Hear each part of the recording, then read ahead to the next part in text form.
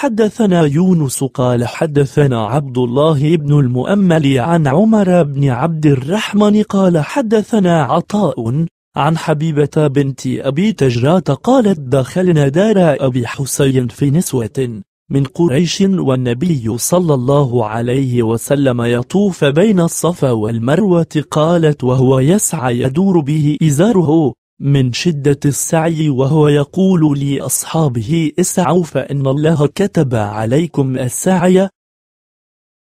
حدثنا سريج قال حدثنا عبد الله بن المؤمل عن عمر بن عبد الرحمن عن عطاء بن أبي رباح عن صفية بنت شيبة عن حبيبة بنت أبي تجرات قالت رأيت رسول الله صلى الله عليه وسلم يطوف بين الصفا والمروة والناس بين يديه وهو وراءهم وهو يسعى حتى أرى ركبتيه. من شدة السعي يدور به إزاره وهو يقول اسعوا فإن الله كتب عليكم السعي